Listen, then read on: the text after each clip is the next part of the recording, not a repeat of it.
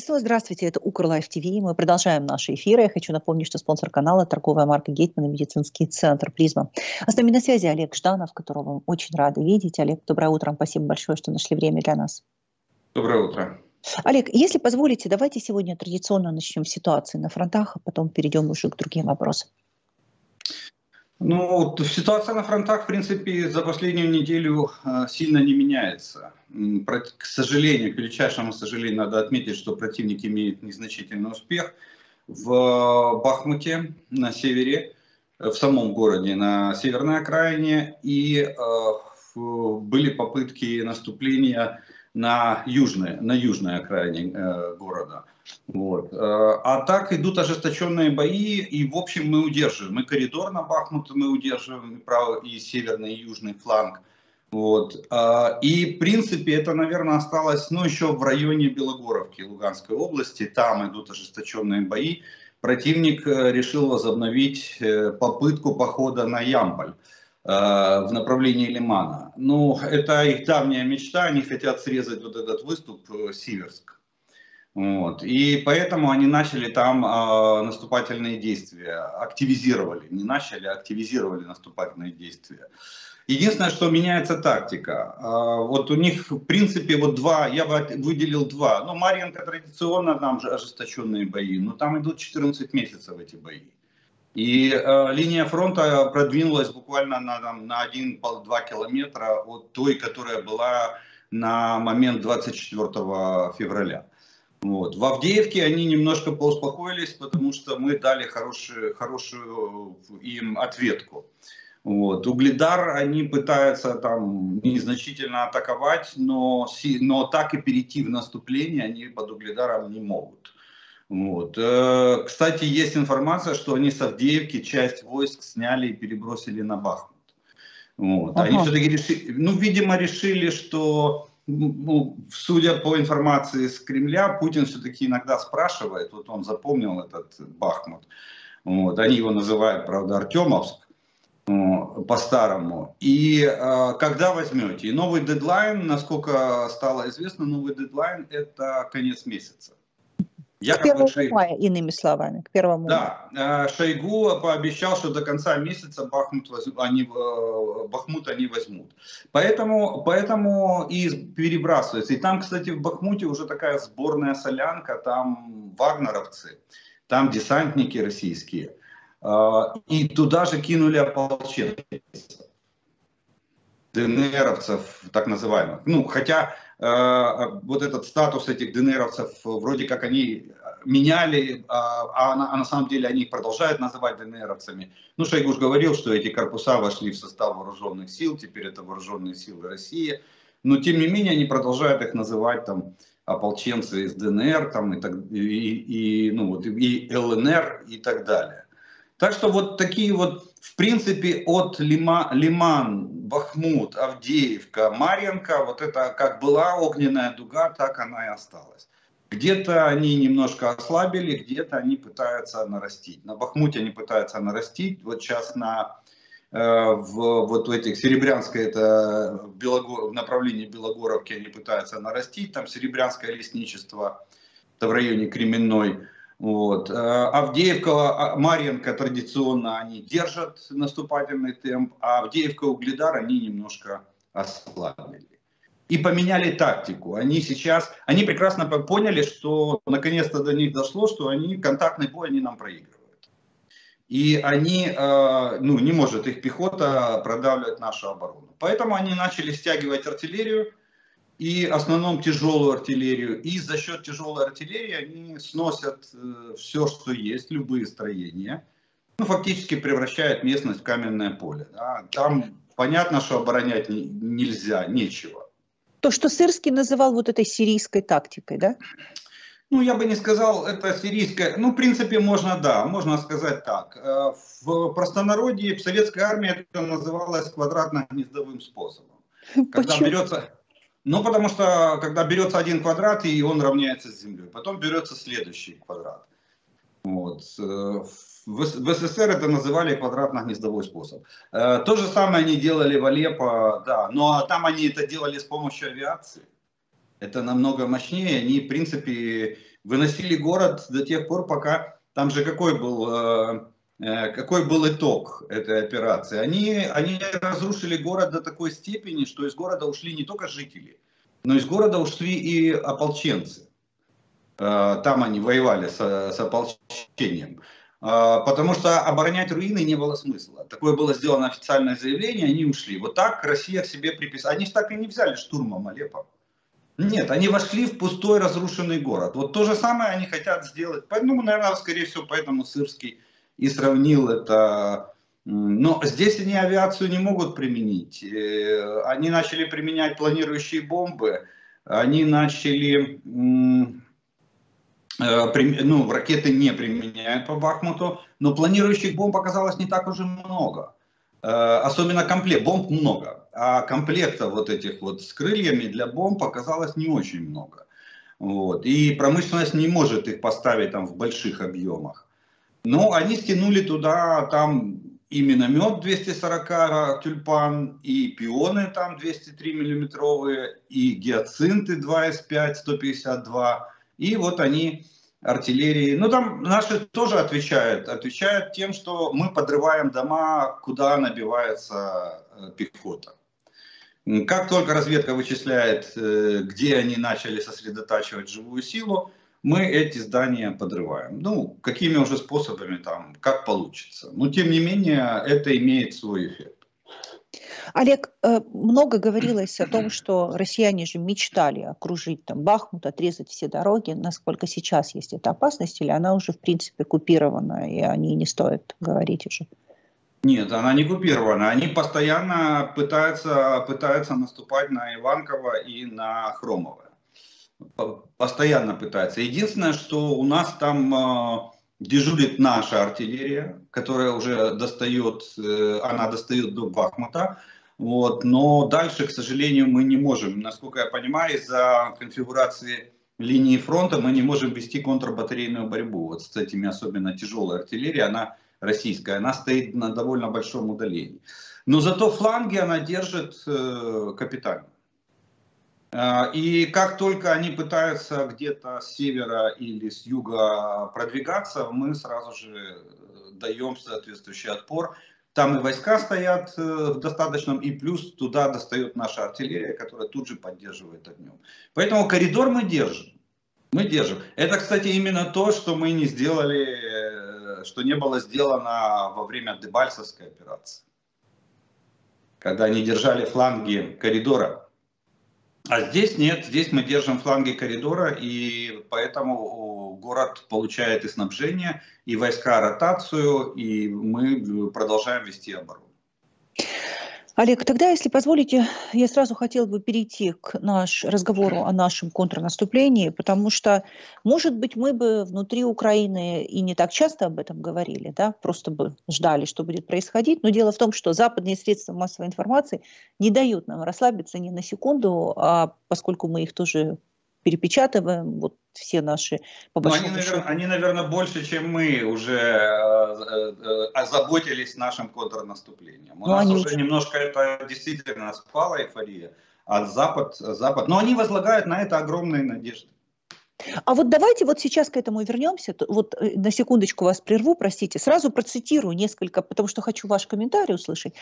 Если позволите, Financial Times, большая вчера статья, Анонсированное Киевом контрнаступление Украины будет рискованным. Оно потребует взаимодействия всех родов войск, и его придется проводить без преимущества в воздухе, поскольку союзники все еще отказываются предоставить современные истребители F-16. Э, в статье также отмечается, что задачу украинцам э, усложняет э, ну, не только вот то, что нет преимущества в воздухе, и вот Financial Times приводит примеры, когда же еще вот такие сражения глобальные, как украинское контрнаступление, было. И они напоминают, что последняя крупная битва с участием танков, вот такая как контрнаступление наше, состоялась в 2003 году, когда коалиция во главе США боролась с иракскими войсками, оснащенными советскими Т-72, но у союзников тогда поддерживала штурмовая авиация и вертолеты «Апачи». Э, и еще одна тоже про контрнаступление, чтобы уже вас не перебивать, это сегодняшняя статья как же без этого? Это... Просто для них это вот каждое утро они этим занимаются, еще интересно. Контрнаступление может быть успешным, если украинским силам удастся вызвать паралич в российском военном руководстве и панику среди российских рядовых. Это очень интересный вот комментарий, впервые я такой читаю. Первые сутки ожидаемого контрнаступления ВСУ, вероятно, будут решающими. Это будет украинский самый длинный день. Такой прогноз на страницах издания Foreign Policy во вторник, 18 апреля, озвучил Франц Стефан Гади, старший научный сотрудник Международного института стратегических исследований исследований по кибермощности и будущим конфликтам. В своей статье эксперт прогнозирует, что первые 24 часа возможного контрнаступления Украины станут самым длинным днем для вооруженных сил Украины, напоминая опыт предыдущих войн, когда начальная фаза атаки часто определяет характер последующей битвы, решает победу или поражение определяет стратегическое влияние наступления. Но это вот только два из того, что, из последних, из свеженьких, что называется. Давайте немножко об этом поговорим, как бы вы это прокомментировали. Ну, и Ой, самое обидное то, что э, от них зависит, понимаете, успех. И они все возлагают теперь на нас. Э, они же не дают самолеты современные, западные. Они же не дают ракеты. До сих пор мы не получили мы не получили, не получили средства огневого воздействия на противника с дальностью 150 и более километров. Все зависит от них, с одной стороны, а с другой стороны они э, рассуждают о нашем героизме и патриотизме, как мы будем с э, голыми руками штурмовать э, передний край, э, передний край противника. Вот это самое обидное, что они либо не понимают, либо это, ну, такой, я бы сказал, э, степ, что ли, в, в этом отношении. Дайте нам оружие, и сидите спокойно, дышите ровно, мы все сделаем.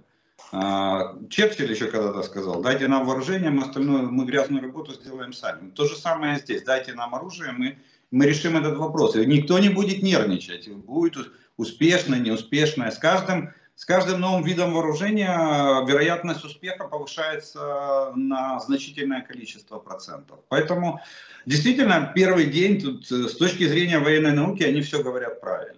Да, так и без, есть, действительно. Ну, да? смотрите, без преимущества в воздухе э, это уже минус там огромный процент успеха э, идти. Это, это первое. Второе, допустим, первые сутки определяют э, темпы наступления.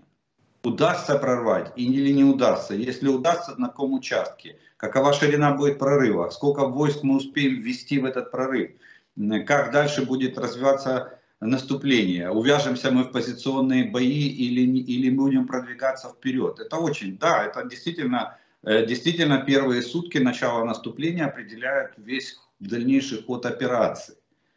Причем, причем, как говорил, вот тут, кстати, э, поговорка Наполеона, да, что любой план сражения прекращает свое действие с первым выстрелом этого сражения, потому что дальше диктует поле боя. Все, план уже, план уже э, только можно корректировать. Он, он уже не будет, точно, сто процентов не будет соответствовать э, той обстановке, которая будет на линии фронта. Вот. Ну а э, вот со стороны Запада, ну, честно говоря, вот я уже сколько слушаю, сколько комментирую, на мой взгляд, это просто, ну, кощунство. Так, э, дайте нам вооружение, и мы все, и мы все сделаем и все будет, и все будет нормально, и вы будете спокойны. И новая доктрина НАТО, может быть, и не понадобится, которую они сейчас там пытаются подготовить к саммиту. Вот, фактически возвращаясь в 70-е годы, в начало холодной войны. Олег, ну раз вы заговорили... о... Что, вот, я, бы, я бы так это откомментировал. Ну, раз уж вы заговорили о новой доктрине, давайте к ней вернемся, потому что она интересная. Эм, Североатлантический альянс э, хочет восстановить собственную боеспособность до уровня времен Холодной войны. Об этом пишет одно из известных западных изданий. Я вижу, вы улыбаетесь, Олег. Я просто сейчас процитирую, предоставлю вам да, возможность прокомментировать. Как пишет издание, от концепции сдерживания путем ответного удара НАТО переходит к сдерживанию путем недопущения – И тут вот интересная история. Они рассказывают, что ранее, в случае вторжения России, государства, члены должны были продержаться до тех пор, пока силы союзников, преимущественно США, не прибудут им на помощь и не нанесут ответный удар, чтобы оттеснить россиян назад. Я помню, как балтийские страны страшно волновались накануне вот массированного, массированной атаки 2022 года. Они очень сильно тогда переживали, даже были заявления, что они опасаются, что русские быстро продвинутся вперед. И готовы, вообще теперь НАТО предлагает увеличить расходы на оборону до 2,5-3% ВВП. То есть если раньше, вспомним Трампа, там до двух сложно было, да, то тут уже значительное увеличение. Ну вот давайте немножко об этом. Почему сейчас эта доктрина применяется э, э, и решает, они решают ее изменить? Означает ли это, что они думают, что война России с Украиной э, не закончится так эффективно, как хотелось бы нам всем? Дело не в окончании нашей войны. Новое – это хорошо забытое старое. Они возвращаются действительно к холодной войне.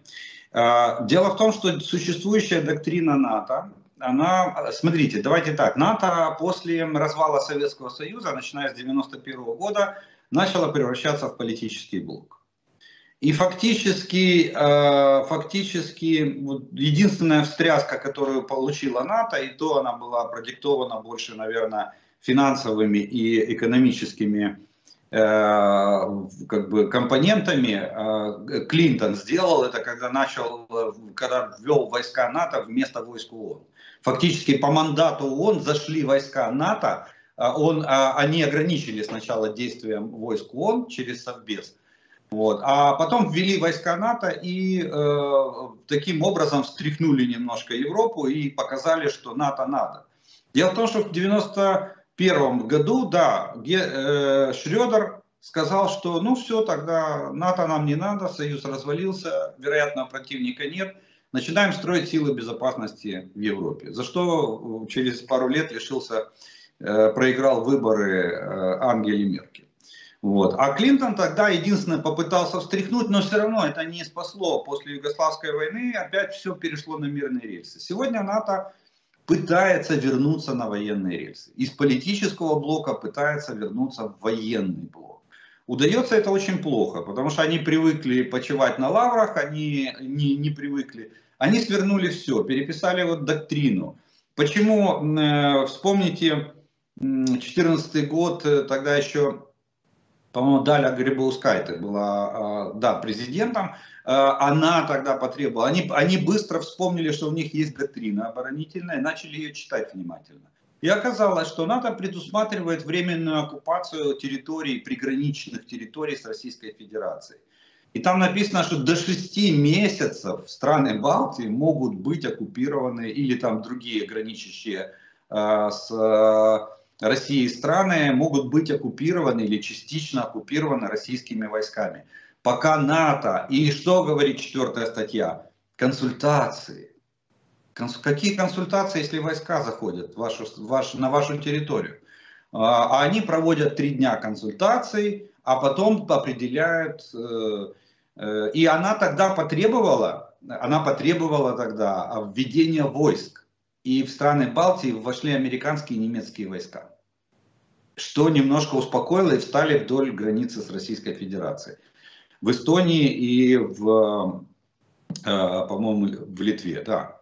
Да, вот. И поэтому эти страны понимают ситуацию. А сейчас они, наконец-то, они пришли к тому. И смотрите, как было построено. Э, вспомните тот же Макрон еще летом прошлого года, что он говорил не надо дразнить Россию, давайте послушаем Путина, давайте, давайте как-то будем искать компромиссы. То есть вот эта мультикультурность, она практически проела НАТО насквозь. Сейчас они наконец-то до них начало доходить, что надо возвращаться к старой, к старой доктрине холодной, холодной войны. Тогда был, э, был эм, агрессивной, а, доктрина была оборонительная, но она была агрессивная. То есть в случае, а, в случае нарушения границ НАТО они вступали в бой. НАТО а, создало тогда силы быстрого реагирования. Кстати, это мы, мы пытались повторить в 2005 году, когда готовились к вступлению получению ПДЧ в НАТО. Мы тогда скомпоновали тоже вооруженные силы, были силы, силы быстрого реагирования, были силы там неядерные силы сдерживания, были, были силы тылового и материального обеспечения. Ну, вот, мы неплохую модель тогда нарисовали, но не судьба их была. Благодаря фрау Меркель не судьба ей было э, воплотиться в жизнь. Так вот, НАТО возвращается к этому. Они сейчас хотят создать, возродить силы быстрого реагирования, то есть войска постоянной готовности, которые развернуты по военному штату и находятся в повышенной готовности. И в течение нескольких часов они могут э, выдвинуться в любую точку границ НАТО и вступить в бой. Вот что самое главное. Их без, без вот этих всех предварительных консультаций и должен... Никаких консультаций, ничего. Только первый выстрел в сторону НАТО, поднимаются войска, и они бросаются на, на этот участок для, для защиты э, членов Альянса. То есть э, они возвращаются практически в 70-е годы. Все правильно было сказано в, э, вот, в статье. Они возвращаются. Советский Союз тогда придумал м, такую интересную формулировку – Э, боевой устав, секретная его часть, начиналась э, ответно-встречный ядерный удар. Ну, это касалось ядерного оружия. Но и такое же про, предполагалось не ядерным вооружением. Ответно-встречный удар. То есть э, Советский Союз, якобы тоже оборонительная доктрина, э, ждал, когда НАТО первый раз выстрелит, и в сторону Советского Союза или Варшавского договора на тот момент. И тогда уже типа советские танки пойдут, э, пойдут волнами, пойдут вперед. И вот эта вот обстановка противостояния, она была, в принципе, практически до самого развала э, Советского Союза. Олег, вот тут у меня вот важное уточнение. Может быть, я что-то неправильно понимаю, да, но все-таки, если вот сейчас НАТО хочет изменить концепцию, концепцию вот, э, в, в отношении России, ведь я правильно понимаю, это же речь да. не идет там о Китае. То есть речь идет о России, вот о прямом столкновении с Россией. То есть из этого следует, что они не рассматривают вариант, что Россия будет разбита в ближайшее время, или что Россия будет не в состоянии э, наступать на страны НАТО. Почему? Не, не так. А вот, вот объясните как, потому что у меня почему-то Там такая мысль появляется. Что это мысль, за... мысль правильная появляется. И в принципе Соединенные Штаты, где-то мы с вами об этом уже говорили неоднократно, я высказывал мнение, что Соединенные Штаты где-то там в глубине души э, ратуют за то, чтобы Россия сохранилась в тех границах, в которых она есть сегодня. Потому что как бы с одним организмом или с одним субъектом э, международного права легче управляться, чем, допустим, э, по разным прогнозам там их может быть, быть около 40. 39 прогнозируют. Там Донецкая, точнее, этот, Белгородская, Брянская народные республики, Курская народная, Псковская народная. Это же может быть, понимаете, на палка же она о двух концах. Это теперь может ударить и по Российской Федерации. Где, где гарантия, что завтра губернаторы не начнут поднимать флаги местного самоуправления? Не начнут делить э, Росгвардию и устанавливать какие-то свои порядки. Но доктрина НАТО, она предусматривает не только, они не только Российскую Федерацию, они предусматривают и э, вот, вот эти э, страны, которые, или новые юрисдикции, которые могут образоваться на территории России. Я думаю, что тут комплексный подход, они просто возвращаются, им не важно будет, там же не указано четко. У них сегодня прописано, что Россия является главным источником терроризма международного терроризма. Они не, не написали, что Россия относится к категории вероятного противника. Нет, такого нету. Может быть, они в новой, в новой концепции, может быть, они, или вот в исправленной доктрине, они могут написать такое. Если они напишут, значит, они подразумевают Россию как вероятного противника. Думаю, что не напишут. Думаю, что они оставят так, как есть. Главный источник э, угрозы, возможно, добавят слово военной к террористической, вот. Но, а, но при этом для того, чтобы именно сыграть сразу на, на, на, на два фронта в плане того, что если Россия остается как субъект, и второе, если Россия разваливается как субъект. И тогда возникает куча осколков. Дело в том, что в случае развала России а, никто же не гарантирует э, того, что не возникнет гражданская война. А гражданская война может быть повернута как внутрь России, так и наружу. претензии, территориальные претензии будут э, самые различные. И в том числе и к странам, которые граничат. А это, а это да, вспомните Финляндия, там вообще с границей какие проблемы были, да, Советский Союз сколько, трижды пытался отвоевать. Э, а если вспомнить еще 17 год, Карелию, Карельскую, Карельскую республику, вот, то там огромные проблемы с границей. Это сейчас, посмотрите, сколько понадобилось лет для того, чтобы Никола Пашинян наконец-то осознал и заявил это публично, что пока и Армения не признает границы 91 года, армянской ССР, до тех пор мира не будет. То здесь это начнется все сначала, все, все начнем сначала, все начнем с нуля. Понимаете? Поэтому они и меняют доктрину. И им не важно, вряд ли они напишут конкретно, э, конкретно Российская Федерация. Нет, мне кажется, они оставят вот в таком контексте, чтобы это э, было всеобъемлющее и касалось и субъектов, которые могут появиться на территории России, и Российской Федерации в целом. О сливе документов Пентагона мы говорили с вами в прошлый раз, и разные варианты обсуждались. До, вот, до сегодняшнего дня там еще появилась ряд информаций, всяких разных, но очень интересная информация появилась по Египту вот э, я напомню нашим зрителям, что вот в этих сливах Пентагона значилось, что Египет тайно, президент Египта тайно поручил подготовить 40 тысяч ракет для России. И это было в слитых документах Пентагона. Что же сегодня написала Moscow Times, это очень интересная э, история. Я прям процитирую, мне кажется, это очень важно. Это вот какой-то прямо реальный результат сливов документов Пентагона, и как-то становится от этого очень приятно. Египет отказался поставлять Путину ракеты и решил вооружать Украину. Вместо 40 тысяч ракет для России Абдель Фатах Аль-Сиси отправит артиллерийские снаряды вооруженным силам Украины. Ну вот прямо что называется? Через, Соединен... через Соединенные Штаты. Но это не, это не главное. Вы упустили самое главное. Что же, скажите? А то, что, э, то, что Египет должен был поставить Российской Федерации пороха а вот этого об этом не, не, не там говорилось. было, там Интересно. второй строчкой все, все уцепились, во-первых, не 40 тысяч ракет, во-первых, это, как это выяснилось, это артиллерийские снаряды калибра 122 миллиметра для реактивных систем залпового огня «Град». Это градовские снаряды. Uh-huh. Поэтому такое большое количество, потому что, ну, если брать одну пусковую установку, это 4000 залпов. 40, 40, точнее, 1000 залпов. 40 снарядов в одном в одном залпе. Вот. Э, но там второй строчкой было, что он, кроме этих 40 тысяч снарядов, должны были поставить пороха и взрывчатые вещества. У России нету порохов. Они не могут производить боеприпасы, у них нехватка. Э, искусственный, синтетический порох они не варят, а э, натуральный порох, для этого нужен хлопок. Ну, а, для, да? да, для основу пороха составляет хлопок. Для сравнения, ну вот так меня, меня учили в автошколе, точнее в артиллерийском училище, так, это фразеология, а, что а, тонна пороха это эшелон хлопка. Ого! Для того, чтобы произвести одну тонну пороха, надо переработать эшелон хлопка.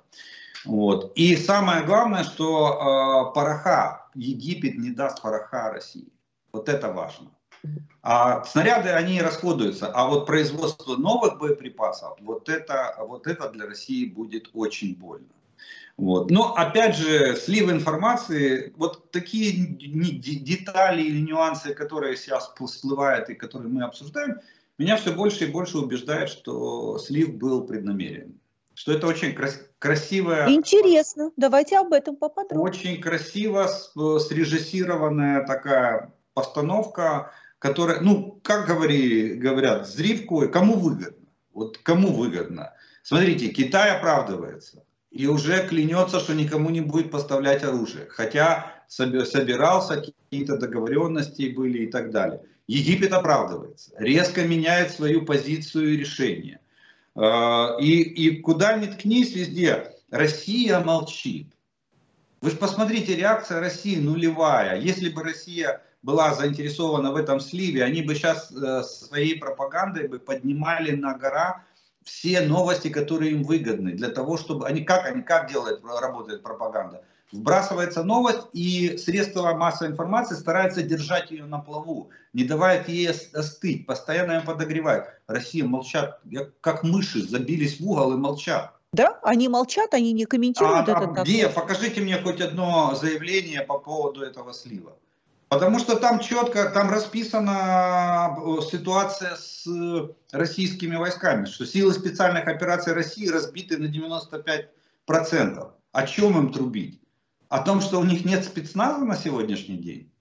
Что у них в спецназе остались одни мобилизованные и, и раненые? Нет, это им не выгодно. Ну, а про нас там, э, то, что сфальсифицировали цифры потерь, я думаю, что это было, как, знаете, как операция прикрытия. Для того, чтобы перевести стрелки, кому выгодно сфальсифицировать цифры потерь? Конечно, Российской Федерации. Ну вот давайте на них, давайте им тут подправим. Заодно все усомнятся в подлинности документов, что они все не сфальсифицированы, да, и вбросим но Россия как-то за потери тоже ж молчит. Даже за такие, за такие подправленные в их пользу. Где, почему, где, кто там? Никто же пропагандистов, я не слышал, чтобы обсуждали, что вот там потери. Они же боятся признаться, что у них э, перевалило уже давно за 5 тысяч. Сколько там, 4800 с хвостиком числится официальных потерь. Это на сентябре, по-моему, последняя информация, по-моему, в сентябре месяце была по потерям Э, в специальной военной операции, как они говорят. Поэтому я думаю, что это вот такая, такая была... А по нам, смотрите, э, что мы нового узнали из э, якобы секретных документов Пентагона, слитых? Что к нам приходят танки «Леопарды», так мы каждый танк считаем, мы уже скоро на границе повесим этот Э, и будем это, плакаты будем писать, плюс один, там, 12, 13, 14, сколько зашло танков. Каждая страна, которая нам помогает из состава конференции в Рамштайне, э, она считает своим долгом э, публично заявить о том, что они нам предоставили. Количество машин, количество боеприпасов, количество вооружений, количество комплектов, формы. Все в открытом доступе. Все, что там было совсекретного. Кто этого не знал? Посмотрите на нашего министра обороны. Вчера презентовал колесный французский танк. Все уже забыли про этот танк. Никто. Ну, э, министр обороны показал, что колесные танки уже в Украине. Рассказал, что они передаются, воевать на них будет морская пехота Украины, потому что они э, имеют э, возможность еще и плавать, это как легкие танки. Вот. Ну, колесным танкам там трудно их отнести, но уже раз так решили называть. Вот. Я бы назвал больше ее колесная гаубица. Там 105-миллиметровый ствол нарезной, это фактически э, пушка на колесах. И действительно для морской пехоты он будет очень подходящий. Так, так что здесь, где СОВ секретно, вот скажите, где вот этот штамп красный? Скажу, сейчас скажу, скажу. А вот э, все же западные средства массовой информации разбирали по косточкам. И каждое утро я просыпалась и сразу начинала читать Вашингтон Пост или Нью-Йорк Таймс, они по косточкам разбирали. И там же писали о том, что даже наступление украинское переносится. Э, там же называлась точная дата в этих документах, что все там начнется условного 30 апреля. Я не открываю военной тайны, это написано везде, да, было. Вот только лениво это не читал. И, и об этом же тоже писалось. Хотя, конечно, Нет, так да, это же, подождите, так это же прием информационно-психологической войны. Ожидание казни страшнее самой казни. Понимаете, теперь, ну, российское командование мечется, они не знают, не знают, что делать, они не знают, где мы ударим, они э, стараются, почему сейчас, смотрите, активизировались удары по прифронтовой полосе, потому что они, они боятся накопления где-то наших резервов, они лупят куда попало, лишь чтобы не дай, а вдруг попадем.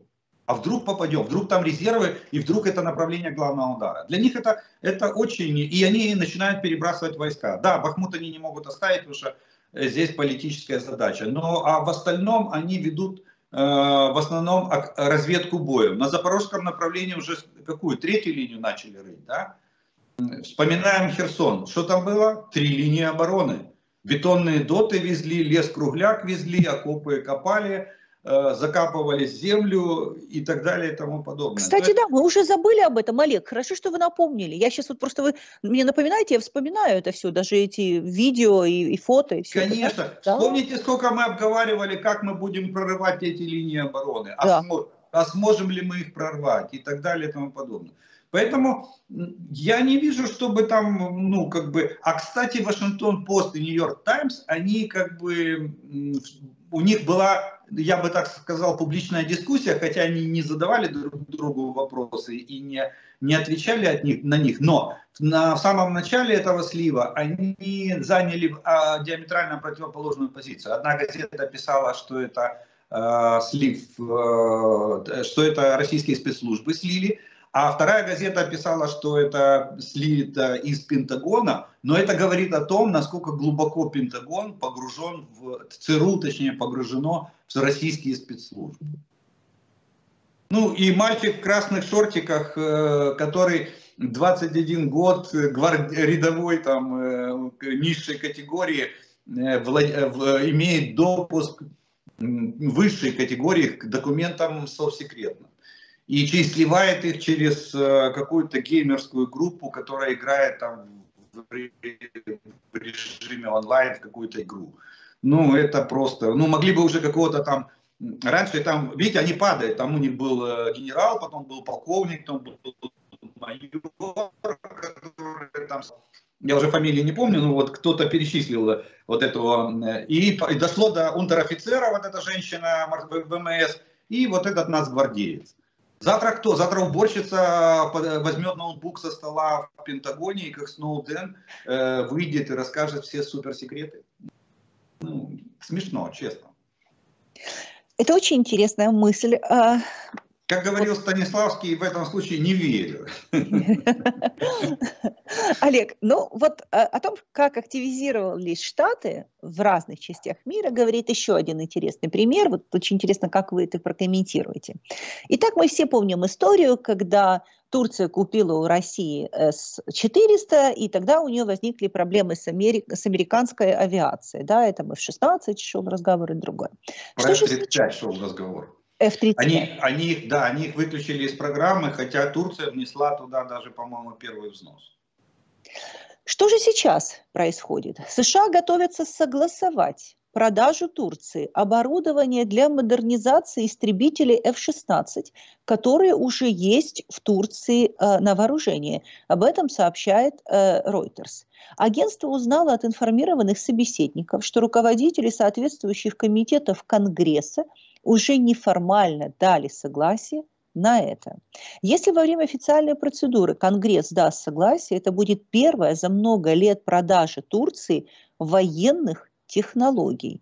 И, как известно, Анкара, то, что, о чем вы вспоминали, долгое время пытается получить от США, по крайней мере, истребители F-16, после того, как Турцию из-за покупки российских С-400 исключили из программы F-35 и наложили на нее санкции. Вот это все происходит на фоне того, что Турция, я так понимаю, отказалась закупать вторую часть этих С-400. Вот это интересно. Это вот Америка пытается договориться вот сейчас с Эрдоганом или что происходит? Интересно. Нет, э, да, в принципе, Соединенные Штаты пытаются вернуть Турцию в лоно НАТО. Дело в том, что Эрдоган сыграл довольно опасную, но довольно, видите, получилось эффективную партию, э, такую шахматную.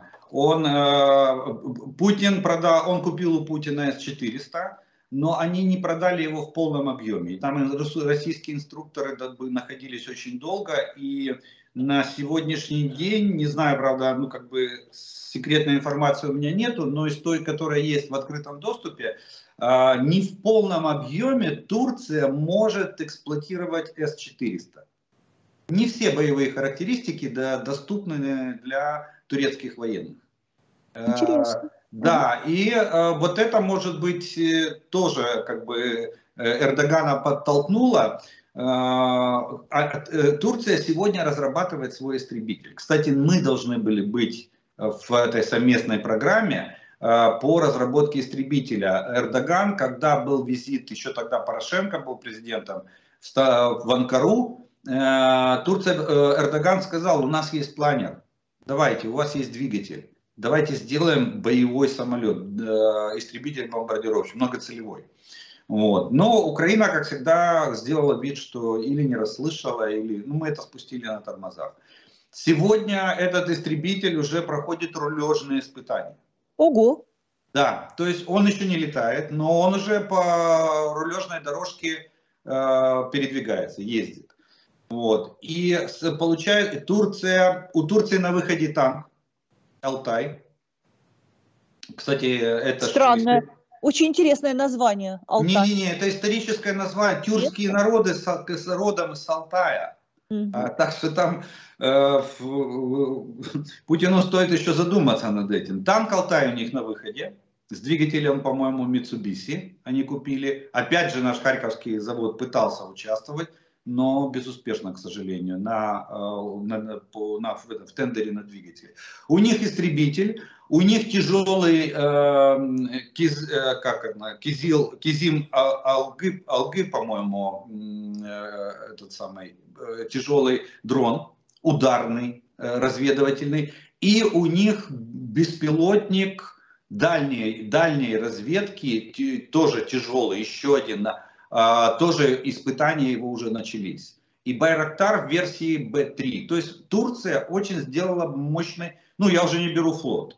Если они даже нам э, строят э, корвет, э, э, э это самое, то, э, то э, говорить о том, что они себя обидят, э, любимых в плане постройки ну, только, только подводных лодок, по-моему, у них 22 штуки на, сегодня на вооружении. Вот. И причем у них же два флота у Турции. У них флот, который находится в, в Черном море, флот, который находится в Средиземном море. Она очень мощная страна. Американцы поняли, что если сейчас они не пойдут э, на уступки Турции, они потеряют эту страну. Она, она обзаведется своим вооружением собственным, и с ними будет еще тяжелее разговаривать. И поэтому они, ну, F-35 вернуть их в программу F-35, я думаю, что это не позволила политическая ситуация, потому что другие страны могли бы возмутиться этому, потому что очень много стран в очереди стоит. Э, на F-35, да? На F-35. Конечно, конечно. Сегодня получили только самые близкие друзья. Сегодня флот Ее Величества, ну, Его Величество уже, э, к сожалению, уже вооружен э, версией Light э, F-35, и их тяжелые авианесущие крейсеры ходят в, по Мировому океану уже с F-35 на борту. Сегодня Израиль обкатывает F-35 и, по-моему, еще кто-то. Там стоит в очереди Норвегия, которая покупает бригаду сразу F-35 ну, у них стабфонд, там, не знают, куда деть эти нефтедоллары. Они решили купить целую бригаду сразу авиационную. Финны стоят в очереди, там полмира уже в очереди, как на Хаймарсе. На Хаймарс на два года вперед э, расписана э, покупка этих. Они уже ничего не продают, они просто выполняют заказы один за другим. То же самое на F-35. И сейчас, если вернуть Турцию в эту программу, это может быть воспринято не совсем корректно. Поэтому американцы решили, ну что ж, F-16 старая добрая лошадка, которая постоянно модернизируется, но до сих пор в строю. Самый массовый, кстати, самолет. Почему бы не продать некоторые технологии Турции для того, чтобы они могли модернизировать э, свои F-16? Вот вам, вот вам ответ. А Россия опять, получается, пролетает. И Путину сейчас придется либо а, передать все технологии, которые боевого применения С-400, вот, или этот комплекс э, так и останется на этой военной базе э, в качестве ну, средства ПВО э, там, в, ограниченном, в ограниченном режиме использовать. Еще одна интересная информация, Олег. Просто очень интересно, как вы это прокомментируете, потому что, честно говоря, я сегодня была несколько ошарашена этим. Российские военные и гражданские корабли-призраки передвигаются в Балтийском и Северном морях и собирают данные для диверсий против ветровых электростанций, газопроводов и кабелей связи. Об этом свидетельствует совместное расследование общественных вещателей Дании, Норвегии, Швеции и Финляндии. Это суда, которые выключили свои так называемые передатчики AIS и не сообщают о своем местонахождении. Примером является корабль э, ВМС России «Адмирал Владимирский». Официально он занимается морскими исследованиями, но по данным источников его также используют для э, разведывательной работы. Вот это как-то очень странно прозвучало, потому что какие-то общественные вещатели вдруг об этом говорят, э, как о том, что они обнаружили что-то новое. Но мы-то думаем, что там вообще все под контролем, что вообще э, вот Запад понимает опасность да, всего происходящего, что есть какое-то слежение через спутники, работают разведки. И все это должно быть, наверное, и так понятно, прозрачно и известно, особенно в условиях вот такой эскалации. Но вдруг выясняется, что эта информация вдруг становится такой неожиданной. И повторюсь, это расследование каких-то общественных вещателей. Я не хочу ни в коем случае их ну, унизить, да, но только ведь это общественные вещатели, не какие-то там военные разведки и так далее. Это интересно, как бы вы это прокомментировали? Ключевых моментов два. Первое это для нас с вами информация. То ну, есть? Для, то не для спецслужб, то есть для широкого, э, для широкой огласки. И второе, э, общественные вещатели. Вот это ключевая фраза. Для того, чтобы, для того, чтобы сегодня не приобщать сюда разведсообщество и не говорить, что это норвежская разведка или там а, шведская или там Ми-6, для этого как общественные вещатели или там журналисты без границ или, допустим, а, анализ сообщества открытого, которые используют исключительно открытую информацию, такие как Беллинкет, такие как Информ Э, вдруг сказали. Дело в том, что э, вспомните, как прекратил свое существование Северный поток. Произошли взрывы, казалось бы, да, в Балтийское море уже сегодня, на сегодняшний день уже внутреннее море НАТО, да, и оно не такое широкое, чтобы его там можно было, тем более взрывы произошли недалеко, по-моему, от берегов Дании. И по идее должно было быть все под контролем. Я думаю, что там под контролем, знают кто. А сейчас появляется информация, что там э, баражировали на протяжении недели, баражировали вот такие вот гражданские суда Российской Федерации. В том числе и выключали систему оповещения свой-чужой. Вот. И, и потом произошли взрывы. А России выгодно, выгодно эти взрывы, потому что никто никого за руку не поймал, неустойку она платить не будет. Поставки газа в Европу были прекращены, и Путин что говорил? А Европа замерзнет. Замерзнет насмерть, приползете на коленях за ведерком газа, я, может быть, вам отолью немножко. Вот. Ну, Европа не замерзла. Зима закончилась, кстати, с рекордным количеством а, газа в подземных хранилищах в Европейском Союзе. Они теперь не знают, куда его девать этот газ, потому что надо закупать на следующий год, а у них, а у них полно осталось от этой зимы. Зима теплая оказалась. То же самое, то же самое происходит и в Северном, э, в Северном море, и вот ближе туда к Арктике. Почему? Потому что, кстати, э, Соединенные Штаты и скандинавские страны, они на Арктику тоже глаз положили. А Путин даже, а Путин настолько хотел э, хапнуть э, арктические воды, что даже было предложение в ООН признать Арктику э, исключительно экономической зоной Российской Федерации.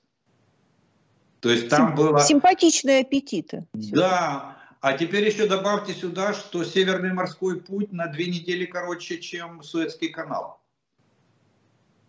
Почему бы нет? А сегодняшние технологии позволяют строить ледоколы, которые будут водить конвои круглогодично. А когда, а когда зима, так там и штормов э, нету, потому что льдом все сковано. Иди себе спокойно во льдах за ледоколом в, в проходе. Поэтому, поэтому, а для того, чтобы показать Российской Федерации, не раскрывать как бы все карты военные, и показать Российской Федерации, что, ребята, мы же все видим прекрасно, все мы на контроле. И, и потом произойдет какой-нибудь э, нацгвардеец в красных шортах э, сольет, потеряет флешку, ее найдет геймер, и весь мир узнает пофамильно экипаж, который и какими приборами они там проводили разведку. Вот о чем это говорит. Это, сегодня это элемент информационной войны. Поэтому общественные вещатели вдруг обнаружили и сообщили всему миру. Теперь весь мир, а теперь по идее, вот понимаете, как раскрутка идет. А теперь, по идее, должны кто заинтересоваться? Спецслужбы. Правильно? И теперь Конечно, они вступают в игру и говорят, мы же проверили, мы проверили данные. Оказалось правда. Оказалось не врут. Э, значит, ай-яй-яй, Российская Федерация, есть основания для, допустим, введения новых санкций. Или там для, допустим, э, требования от России там каких-то каких действий определенного характера. Вот. Так что, на мой взгляд, это уже просто тех, сегодняшние э, технологии, которые используются в ходе, в ходе информационной войны, которая все равно выливается в экономическую войну. Олег, ну и последний вопрос в качестве прогноза поскольку очень много интересного было сказано сегодня по поводу того, что многие документы могли быть обнародованы намеренно, что это часть большой информационной войны. А что бы вы сказали украинцам о всех вот этих вот, о всей этой информации, которая вокруг наступления накапливается, накапливается, и уже создается такое впечатление, и возникает какая-то даже такая легкое такое волнение, что мы так много говорим о наступлении, что уже даже даже в Украине мы как-то даже опасаемся об этом говорить. Уже думаю, ну сколько уже можно? Знаете, есть такое слово, чтобы не заговорить в конце концов, да, все это действие. Вот, потому что э, для Украины это по-настоящему, это жизни наших, э, наших людей, наших солдат и многое-многое другое. В этом смысле вот на фоне всего, что было за последнее время сказано об украинском наступлении, что бы вы сказали украинцам? Ну, скажу так, что, видите, война гибридная действительно гибридная. Нет такой классической войны, как это было в Первую мировую, во Вторую мировую, линия фронта, кругом враги и все остальное. Я бы, я бы, по, я бы по, по, порекомендовал бы просто дистанцироваться от вот этого информационного шума и воспринимать это просто как новостной фон. А на самом деле заниматься тем делом, которым они занимаются. Помогать вооруженным силам, поддерживать их, верить в них, и, э, и, готовит, и готовиться к, э, к этому контрнаступлению всеми силами, а, а не распыляться и не тратить нервы вот на такие сообщения. Это воспринимать как информационный фон а, вот этой гибридной а, войны, в которой мы сегодня, в, в которой мы сегодня участвуем. Я правильно понимаю, что Украина готовится к контрнаступлению, несмотря на все, что там Несмотря ни на что. Вы абсолютно правильно понимаете, и в этом плане я бы, знаете, как сказал, берите пример с генерального штаба нашего. Постоянно молчит. Постоянно. Из него какую-то информацию вы нет. Они в себе там в середине закрылись тихонечко и занимаются своими делами. А потом мы с вами наблюдаем результаты э, боевых действий. Да, мы очень сильно зависим от наших западных партнеров, и иногда вот эти позиционные периоды войны затягиваются на очень долгий период. А, вот как сейчас, практически три месяца мы в позиционной войне, а, и все уже вроде как устали. Но с другой стороны, как только, как только необходимое количество вооружений будет поставлено, я думаю, что мы сразу же увидим результат. Так что берите пример с нашего генштаба, меньше, меньше нервничайте, больше делайте и верьте в нашу победу. Олег Жданов был сегодня с нами на связи, за что мы ему страшно благодарны. И, конечно, признательны вам, наши спонсоры на платформе Patreon. Оставайтесь с нами. Это был Укрлайф ТВ. Олег, спасибо вам огромное. Спасибо, что были сегодня с нами. Спасибо.